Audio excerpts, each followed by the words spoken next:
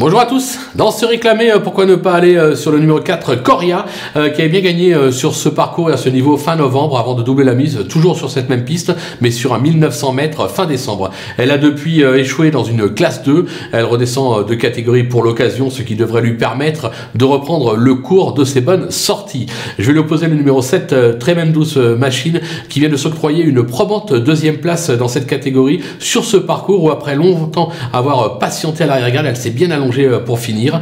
Euh, il a repris de la fraîcheur euh, depuis. Lundi, il peut espérer ouvrir son palmarès à l'occasion de se réclamer. Maintenant, c'est à vous de jouer et on se retrouve tout de suite pour un nouveau côté cote dans la sixième.